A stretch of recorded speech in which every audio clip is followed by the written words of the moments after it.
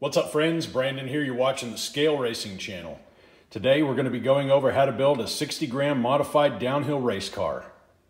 Blue Line Racing is putting on an event where it's going to be covering, I think, seven tracks now. And what we're doing is we're sending all of our cars up to Blue Line Racing where the initial run will be held. And then after that will be sent to this track at Scale Racing Channel and then on to five other tracks. Uh, the last track is going to be back at Blue Line. It's going to be a cumulative point system, and whoever does the best out of all the tracks will be the overall winner of the entire series.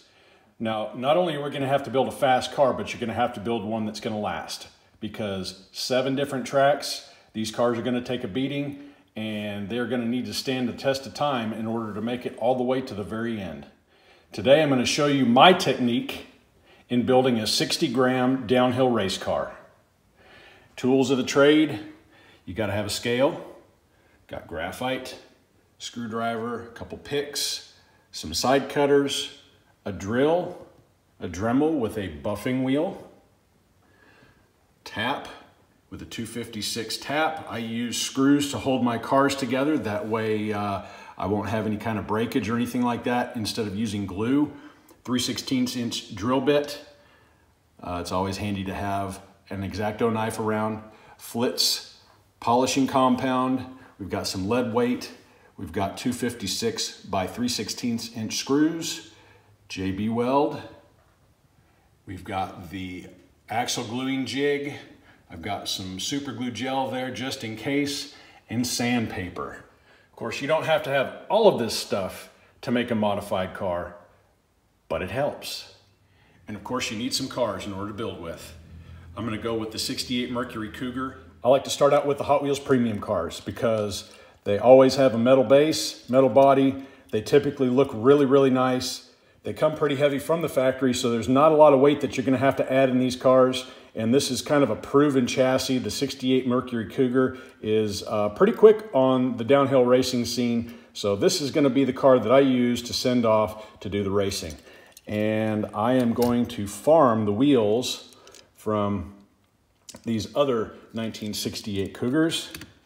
Uh, I bought four of these. They were half off at Walmart, and I cracked all four of them, and I picked the cars which I feel have the best performing axles. So I'm gonna have to take an axle from this guy and an axle from that guy. So I chose the cars that I felt had the best axle spin so that even if I do lose a little bit of graphite along the way, I still have a really good base to race with. And I'll show you really quick why I decided on uh, these two particular cars. We'll do some wheel spin. Back one's got some noise to it. Front one rolls pretty good. These are dry. These don't have any lubrication on them whatsoever.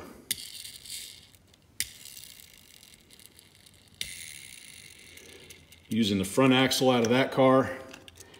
And if I'm not mistaken, I think it's the same deal here. Front wheel tends to roll a little bit better. So I'll be using the front axle out of that car too. The other two cars did not roll as well as these did. And here's why I like using the premium cars. Metal body, metal base, weighing in at 54.4 grams. It's not gonna take a lot of weight to get this to the 60 gram target weight that we're all shooting for. Plastic base car weighing in at 33.7. All right, guys, let's go ahead and get into this. Okay, this technique can also be used if you're just doing wheel swaps. And what I have here is a number 50 drill bit, and that is the tap drill size for the 256 screws that I'm gonna be using to hold the body together. And typically what I'll do is I will use this number 50 drill bit to do some pilot holes in the rivets. And you only have to go maybe a millimeter or two deep. You don't really have to go very deep, but you drill the pilot hole with the number 50 and then you follow it up wiping the rivet out with that 3 16 drill bit. And I found that when you drill the pilot hole, uh, especially on these plastic-based cars, the drill bit has less of a tendency to walk and screw up. So we're gonna go ahead and drill the pilot holes in all these cars. Okay, that's with the pilot hole drilled, and that's with the standard rivet. Okay, I've got my pilot holes drilled. Now we're gonna take the 3 16 drill bit and install it in our drill. Center up your drill bit.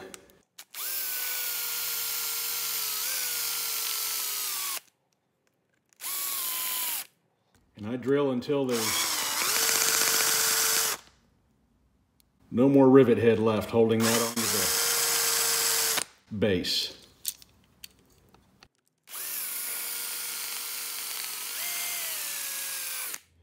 Even with the pilot hole, in these plastic cars, they have a tendency to walk. I don't plan on reusing these, so I really don't care. And that's with the rivets drilled. You can use a soldering iron tip to melt the bottom of the plastic chassis cars off, but I've already got the drill bit out, so I'm just gonna use that method. And from here,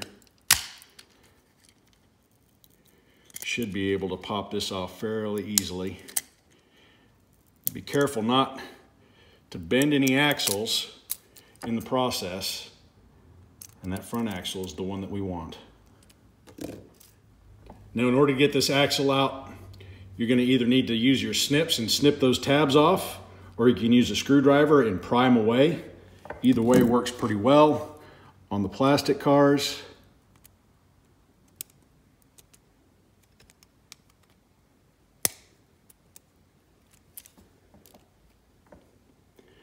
there's that one. I am gonna go ahead and remove the rear axle on this too because uh, I do wanna keep the axles and the tires for a future use. So I'll just go ahead and pop those guys out. Don't confuse these. We're gonna put this one over here to make sure that that one's the one that we use for our build.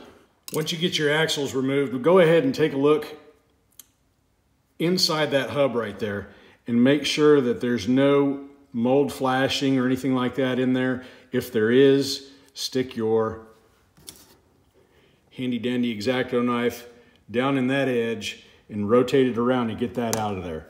These don't have any kind of mold flashing. Also, it's a good idea to take a look at the inside, right there where that wheel comes in contact with your chassis. Make sure there's no flashing there either because that does make a difference too if there's flashing or if it's smooth. All right, the rivets are drilled out of the metal base car.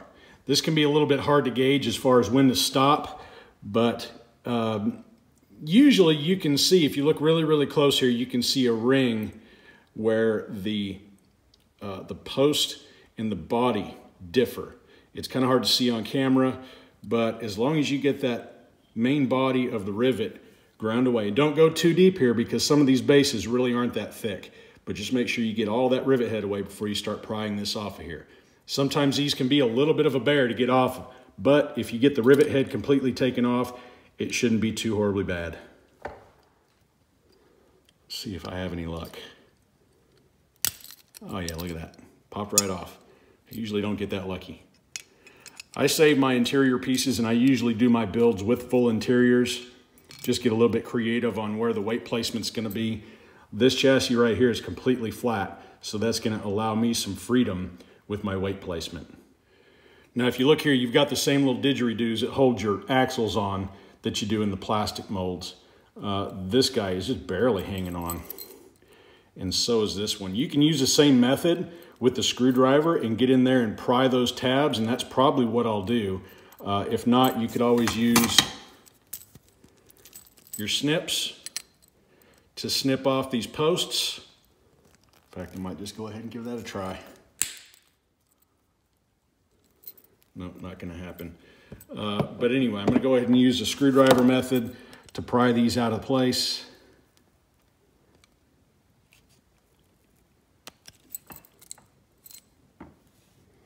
There's one.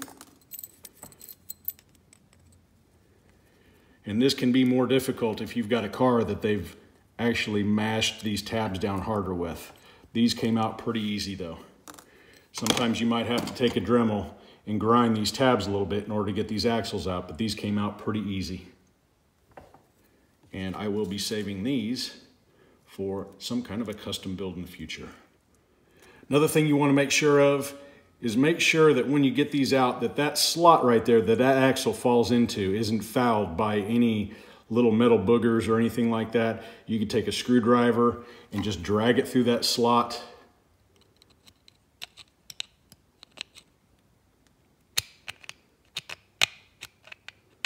You can widen these gaps up a little bit more.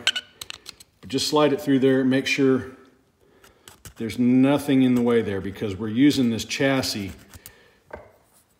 to help us center the axles when we put this thing back together. Chassis prep, basically what I'm gonna do right now is I'm gonna take my Dremel and the Flitz and I'm gonna apply some of the polish onto the wheel and I'm gonna polish all these points right here. This is where your wheel is actually gonna come in contact with the chassis. We wanna reduce friction as much as possible and we are going to go ahead and polish these guys and make them nice and smooth. Take a little bit of the Flitz, it doesn't require a lot, and just kind of mush it around on that wheel.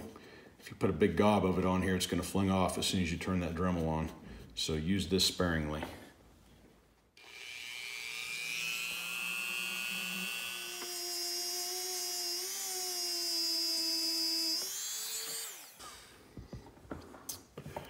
And that's that. Hopefully you can see a difference there on camera between the polished side and the non-polished side. You got a good gloss on there, you know you've got a good polished finish. And that's where your inside wheel is going to come in contact with the chassis. Now go ahead and do the same process on the other three. All right, we've got both sides of the chassis polished. Now we get to move on to the axles. Okay, what I'm gonna do is I'm gonna go ahead and polish one of these axles and you'll be able to see what it looked like before and after. But typically what I do is I will move my axle all the way out where I have good access to it down here, push it back a little bit, and then I'll hold that, push against that with my finger and hold pressure on it. And what that's gonna do is that's gonna allow me to polish this and it's not gonna allow that axle to spin. So Again, with the Flitz, not very much. Turn it on away from you. And slowly go around it with your buffing wheel. Don't put a lot of pressure on your axle because it has a tendency to grab on these polishing wheels. And this is a little bit more difficult whenever I'm doing it in front of the camera. But what you're gonna do is just go around and around, nice and light touch, till you get a high gloss. And if you need to stop and apply a little bit more polishing compound, that's fine. Keep going until you feel you've got enough shine on that thing. And the faster than ever axles will polish up really quick. You don't want to take very long on that, but these are just your regular standard steel axles. So it might take quite a few passes to get everything polished like you want it. Again, make sure that you don't push too hard on that buffing wheel because you don't want it to grab that axle and bend it. You want to keep these axles straight. Now you can spend a little bit of time on that nail head too. It's not going to hurt anything. It's just another contact point where the wheel is going to hit that axle. Now when you get done, I've got a little microfiber cloth right here. I make sure I go ahead and wipe off every little bit of this polish. You don't want the, the tire to get down into the polish because then it will embed into the plastic and it will foul up the roll. And here's the before and after. Hopefully you can see that. The polished axle on the bottom, the non-polished axle on the top.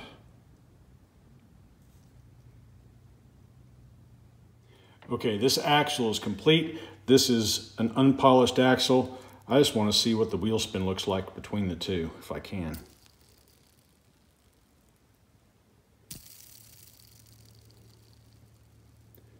Polished axle, non-polished axle.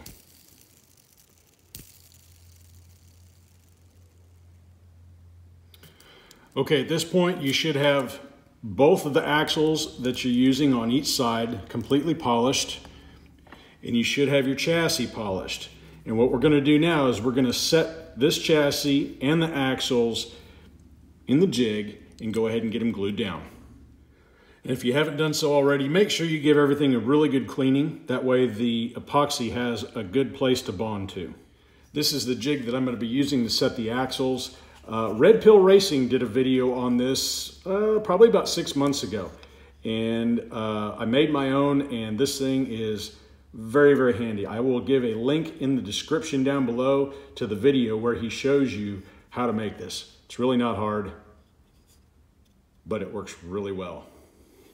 You're going to use these rubber bands. These are the things you get from Walmart. It's a bag for like a dollar or something like that. The yellow ones is the one that Red Pill recommends using. Those are the ones that I've been using this entire time. And what you're going to do is you're going to set your car chassis on top of the jig like that. And you might have to put some pressure to hold it down. And then you're going to take your rubber band. Again, I did not invent this process. Red Pill is the one who uh, showed me how to do this. And uh, thank you very much because this thing works really, really good. This is the way. Um, go ahead and just get those hung right now. And then you're gonna come back to this other side and do the same thing. I've got a little bit of an angle right here on this. That way it keeps that axle pushed up against the outside slot in the chassis and that's what I'm going to use to make sure that these axles stay in place and are really straight. Come around here. Okay, once you get to that point, then you can kind of start fine tuning a little bit. You can push on these, and if one side has a little bit more tension than the other, then you know, just kind of tweak your rubber bands a little bit and get the tension about the same. What you can also do is you can pull that rubber band down just a little bit and get it seat and that'll give you your spacing on either side of your wheel before you glue these axles down. Again, I did not invent this process, but if it works, you might as well use it. Got my tension about the same. I'm gonna give this a little tug. Give that one a little tug. And that should have your axles placed in the slots. Just make sure that they're pressed all the way up against the outside slots on both of these and make sure they're nice and seated down in the chassis. Make sure your spacing looks good between your axle and your chassis and then you'd be able to apply glue after everything looks good. I'm gonna use this JB Weld Quick Weld has a set time of six minutes. So when you mix this up, it's a 50-50 mixture and it doesn't take a lot of this stuff. But once you start mixing it together, you got six minutes to get it where you want it to be. So don't dilly-dally. All right, I'm actually gonna use this screwdriver right here. Clean screwdriver, you can use that if you want, or a toothbrush. Just mix this together. The faster you apply this, the easier it's gonna be to work with. Just take a little dab off there and you're gonna drop it right there on top of your axles.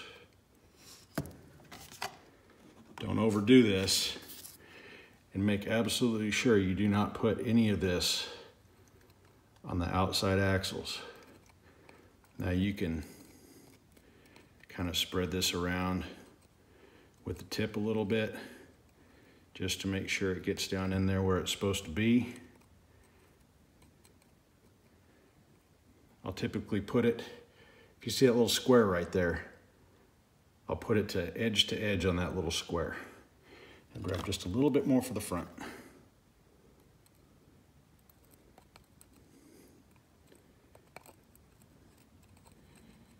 Pushed down in that slot.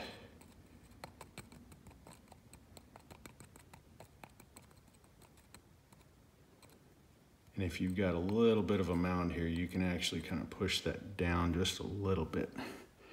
Wipe off your screwdriver with the rag.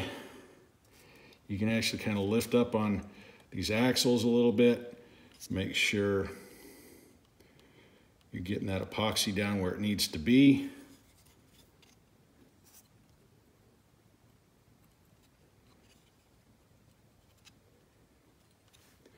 And maybe come back again with your screwdriver, just make sure it's pushed down in that slot. This is gonna be the lifeblood of your axles. The better you glue this, the more wrecking and racing it will be able to withstand. Now we're gonna let that sit. Uh, some guys use super glue to hold those axles in place with. If you do use super glue, make sure you use the gel control type. If you use the thin super glue, it's gonna travel down that axle and it's gonna get between your axle and your wheel and it's gonna foul the spin on them. Uh, another quick note, a lot of racers like to use sandpaper and sand these axles smooth. And that's perfectly acceptable. I'm just showing you the way that I do it. I typically don't. I haven't gotten to that point yet where I wanted to start sanding those. Um, but yeah, you can use, you know, like a 1500 to 2000 grit sandpaper and polish every little imperfection out of that before you start using the metal polish. I don't, it's just a matter of preference. While our chassis is curing, we're gonna go ahead and move on to the body prep. And what I'm gonna do is I'm gonna go ahead and knock all the plastic parts out of that guy and we're gonna drill these holes a little bit deeper. Again, I screw all of my cars together, but you're gonna have to go a little bit deeper on these posts in order to give you enough room to tap them out to the proper length for your 3 16 screws. And this is a general, I think it says 168, number 168. I think that's what it says. Uh, it's just a small tap handle. That will make your life a lot easier. I've had this for many years. You buy good one time, you don't have to buy again. So you've got the number 50 drill bit chucked back up in your drill. You're gonna go ahead and you want to make this as square as you possibly can get. You don't want to drill at an angle or anything like that, but leave it as square as you possibly can. That way you don't break through on the post with your drill. What I typically do is I'll put my drill bit all the way to the base of that body and I'll put a mark on the drill. That way I know what my depth gauge is going to be. That way it ensures that I don't go through the top of the body and you surely don't want to send that little drill bit through a finger because let me tell you, it doesn't feel good. When I get to the depth that I'm comfortable with, I've got the drill buried in the body. I'll put my fingernail right here and I'll check the depth on the drill. And that's gonna be plenty for the screws that I'm using on this car. Make sure you take small bites out of this. You don't wanna sit here and drill in this hole forever. Drill a little bit, pull it out, clear your bit. If you foul that bit, it's just gonna make a lot of heat. It's gonna bore out the hole bigger than it needs to be. Clear your bit. And do not, do not push too hard on that drill bit. It's small, they're easy to break. If you break one of these off in there, you're done. You're gonna have to glue that body to the chassis.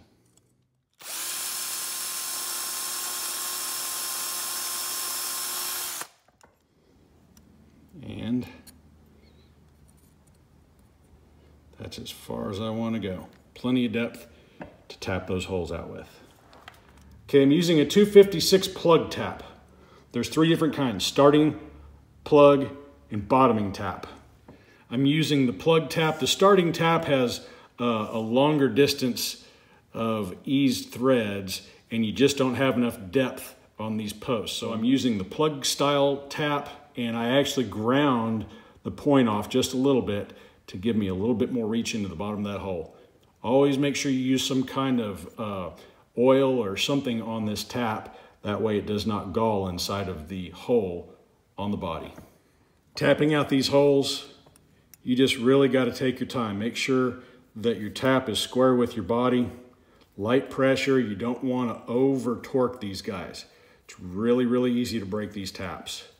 If you've got oil on there and you've got that proper size hole drilled, it really shouldn't be all that difficult.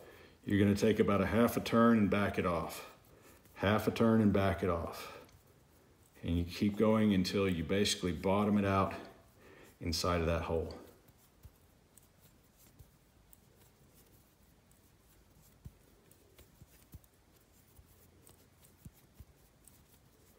As long as you do this method right here, you shouldn't have any trouble breaking off a tap inside that body.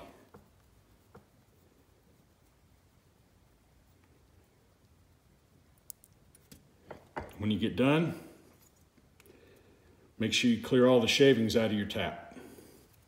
And then repeat the process on the front body post. Again, you want to keep this as perpendicular to the body as you possibly can. All right, the posts are drilled and tapped. Now we're gonna wait on our JB weld to set. All right, while we're waiting on this to cure, a quick word on axle and wheel choice. This was pretty easy for me because the casting I was using was the same between the two. So I didn't have to worry about the width of where those axles come out to. If you are going to steal the axles off of a different car, you gotta make sure this width right here is the same between this car and the car that you plan on modifying. If not, and they're too wide, you're gonna get a lot of wheel slop in there, or if it's too narrow, it's just not gonna fit inside there. So make sure when you get your donor car that it's the same width between the axles as the car you plan on modifying. And I'm not tubing these axles, that's a whole other story altogether. This is just using the stock Hot Wheels axles in a newer chassis. Okay, we've moved inside, and the main reason why I did that is because I want to use this granite countertop as a nice flat surface in order to do my sanding. The Cougar is still curing. I don't want to uh, speed the process along on that one. I, I, want it to get completely hardened before I go through this step right here, but we're going to use this Lamborghini Urus as my demonstration piece for how I sand wheels. And what I use is a 4, a 6, an 8, a 1000, and a 1500 grit sandpaper in order to get this where I want it to be. And then I finish it off with this fine crocus cloth. I think it's probably somewhere around 2000 grit. Uh, if you feel it, it feels just like paper. It doesn't feel like it's got any grit to it, but it puts a nice polish on my wheels. This is clean. I just cleaned it off. I don't know if you can hear this. Can you hear that? I don't know. It's basically a brand new Lamborghini Urus. Nothing's been done to it. What I'll do is I'll start with my 400 grit paper. And then what I'll do is I put the car at about a 30 degree angle to the paper.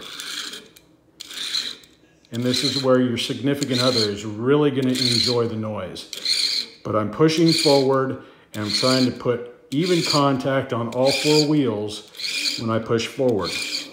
I don't know if you can notice this or not, but those wheels are turning as I'm pushing it forward. I don't want to do it this way and put flat spots on the wheels because that's what will happen. So you aim it a little bit forward, maybe at a 30 degree angle to the sandpaper.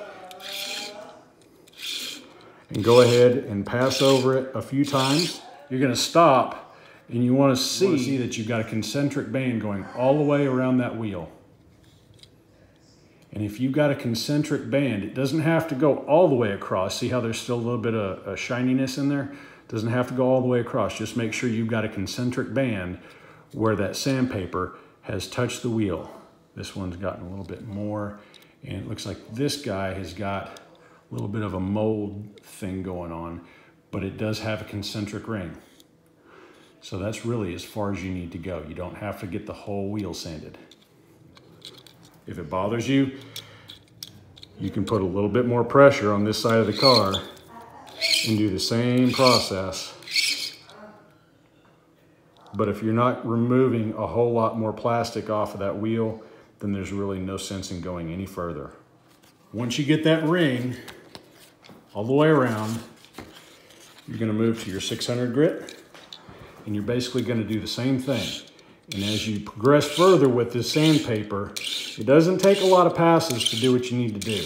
And a lot of times, I'll go ahead and I'll flip the car around the other way and do the same thing. And you can actually feel it. At first, it, it grabs a little bit, and the more you pass over this paper, it smooths out, especially with the finer grit paper. When it starts smoothing out, you know you're done. You move on to the next grit. 800 grit is next. Same process. And this is where your significant other is really going to enjoy this process because it makes kind of a nasty little noise. Light pressure. You don't have to really push down hard on it. All you're doing here is just removing the scratches from the previous grit sandpaper. And that's my son in the background. Yep, that's him. Move on to 1000. Same process. Doesn't take long. If it makes that buzzing noise, just ease up on your pressure just a little bit. Again, you've got the concentric patch going around each one of these wheels. That's all you need. 1500 grit. And you can wipe these off as you go. Doesn't really matter. Same process, 1500 grit. It starts feeling different. And it should, it should start feeling a lot smoother. And you don't need to spend a lot of time doing this.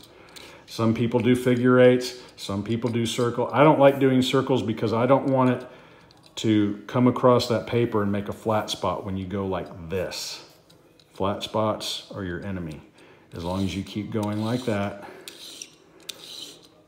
you're not gonna get any flat spots.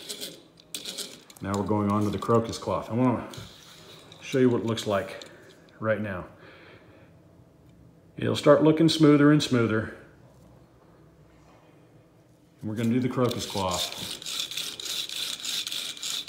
And this is just like a really fine polishing cloth. I'll go back and forth, and I'll turn it around, do it again. This removes almost no plastic. This is just giving you a polish. Just a little though. Don't overdo. Don't overdo. It gets working and it feels good, and next thing you know, you've overdone it.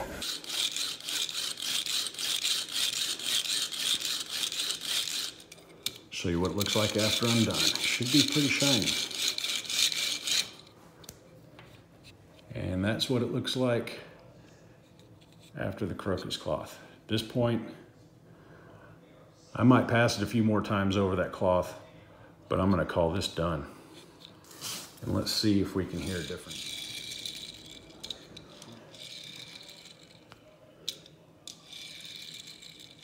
Rolls a lot smoother. It rolls longer. Hardly any noise. You can push down on it. If you can hear this, I don't know if you can hear that, but it's almost silent. You'll really notice it when you put it on the track. That's what I do for sanding wheels. Again, this isn't the only way to do it. You can do it however you like. If you've got a different process that works really well, hey, leave a comment down below, let me know about it. But this is the way I do it. Seems to work pretty well. Uh, one thing that you need to do when you get done doing it this way, since the wheels are mounted on the car when you do the sanding, make sure you get some compressed air or like one of those little keyboard air blower things and just blow out any kind of dust that might be remaining inside or around the wheel from where you did the sanding. Again, we didn't take off a lot of material starting at 400 grit, um, but there is still a little bit of remaining sanding dust. That's how I do it. Give it a try. You'll notice a difference. All right, I'm gonna try my best to get a sound demonstration between the Lamborghini that I just did and a number car with Trap 5 wheels. See if you can hear any difference. All right, this is a Jaguar with Trap 5 wheels. They're a little bit smaller in diameter, but you should be able to hear a difference.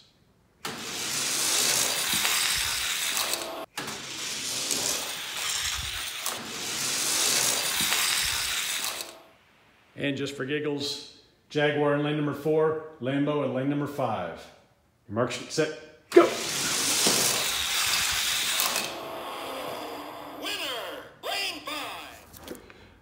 The JB Weld is starting to get hard, but I still don't want to push it just yet. You can insert your interior on that car and you can start looking at places where you can add weight. We only need to add five grams, so it shouldn't be that difficult to do on this car. If you start with a lighter car, you need to start getting creative with your weight placement. But it looks to me like um, right underneath these roll bars right here on the chassis, we could add some weight. The floorboards, we could add some weight. There's some room in there. And we could even actually add just a little bit in the rear here underneath that plastic spoiler. So that's what we're gonna be doing is looking at where we can put our weight.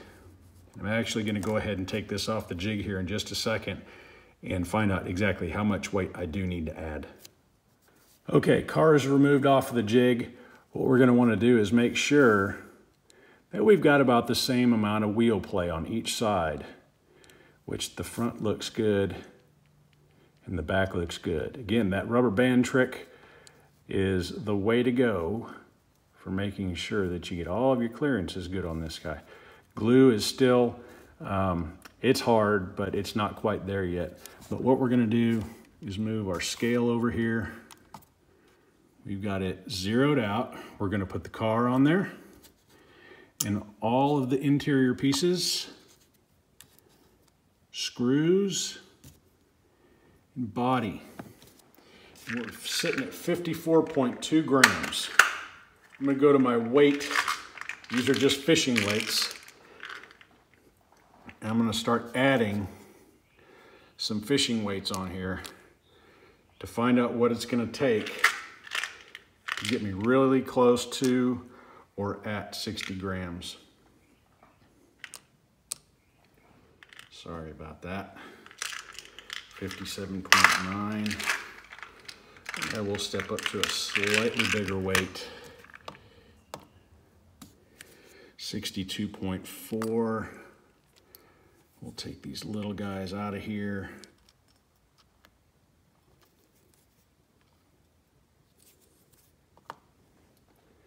Okay, 58.7.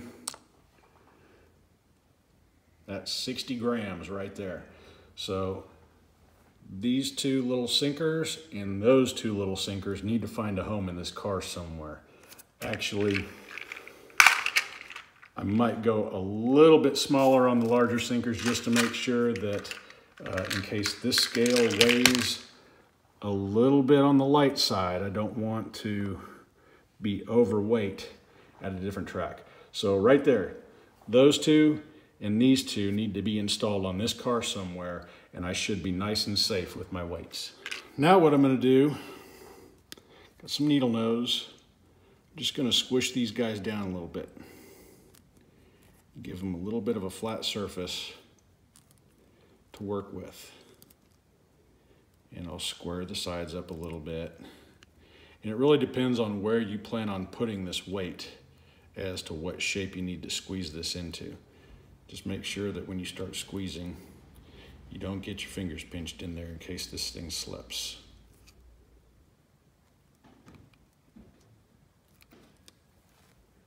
Okay, this is what I've come up with. I took one of those split shots, the bigger one, and just kind of squoze it down with my needle nose.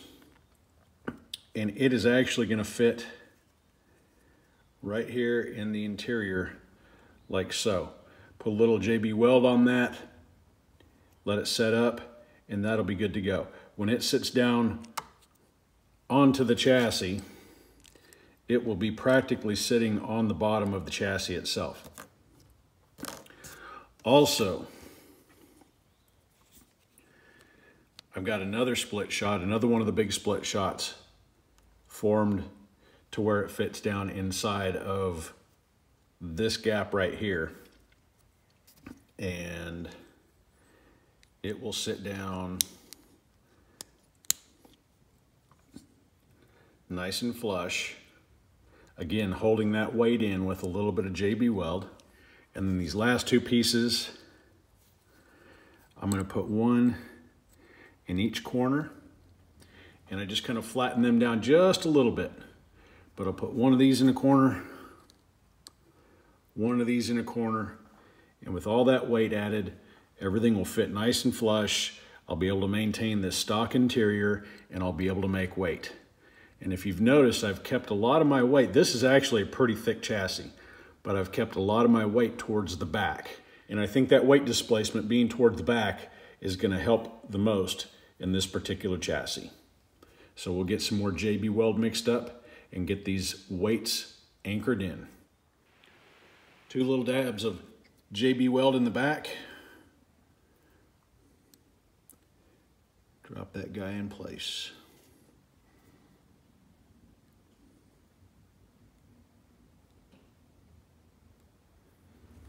A little bit of JB Weld in that gap. And then slide this weight in.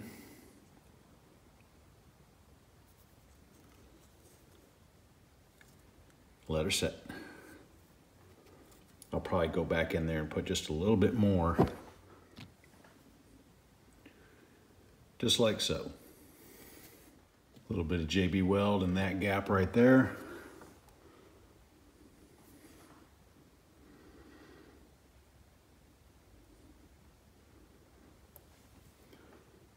Slide him in place. A little bit more right on top of that weight just to make sure it doesn't go anywhere. And while the weight's setting up, let's go ahead and do one final weigh-in and make sure we're good to go. 59.6 grams works for me. Okay, JB Weld hasn't quite set up yet. I'm gonna go ahead and put it on top of the chassis. That way in case if anything needs to move, it still is a little bit conformable. It looks to me like everything's sitting nice and flush with the interior and the chassis. Now we'll go ahead and install the body.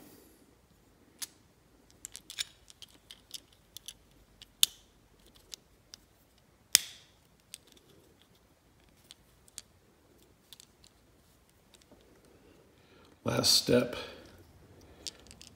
to the rebuild, installing the screws.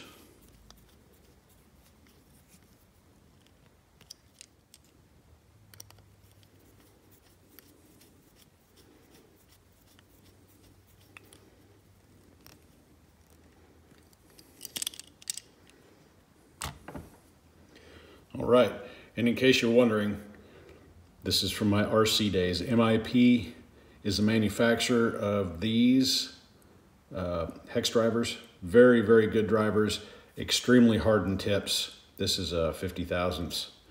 Good for those 256 button head screws. Now that the car is pretty much done, I'm gonna let it sit for probably another hour to make sure that the JB weld on the axles has fully cured and I'm gonna sand the tires just like I sanded that Lamborghini Urus. Two hours later. Okay, the JB Weld has had time to set and I went ahead and sanded the wheels just like the way I demonstrated with the Lamborghini Urus. And I went ahead and graphited the wheels just like I demonstrated in the uh, how to get speed out of your Hot Wheels video that I uploaded uh, maybe a month or so ago. So this car pretty much ready to go.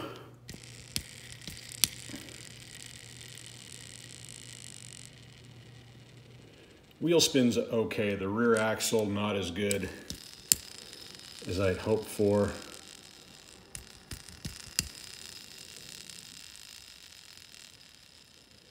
Eh, not my best, but it's done. One other thing I wanted to check I don't know if you guys remember this car or not, this uh, Corvette Stingray. It's also a 60 gram car and it performed really well for me. Um, I want to check the weight bias. And typically if you go look at all the Pinewood Derby uh, hacks and tips, they want like a 70-30 rear to front weight bias. It's going to be a little hard to do on Hot Wheels just because uh, there's not as much room and there's not as much adjustability. That one 36 and a half on the rear.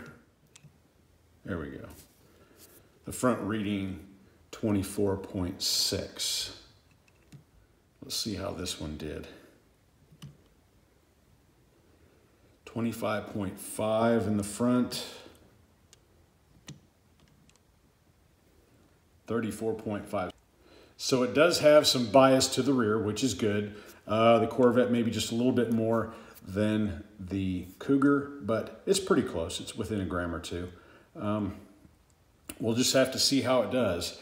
And again, if you want to see this car go down the track and see how it performs, make sure you go over to BlueLine Racing, subscribe to that channel, and make sure you click the notifications bell. That way you know when the 60 gram race is going to happen. All right, if you're still here with me, I'm glad you stuck around. I got to get this thing packaged up, sent up to see the Northeast Beast. Again, this is just a guide on how to make a 60 gram card. It's certainly not the rule. Uh, there's lots of different methods out there. This is just the one that I like to use personally. If there's any tips or tricks that you can add, please feel free to leave a comment down below and uh, let us know anything that I might have missed. So until next time, y'all stay healthy, have fun racing.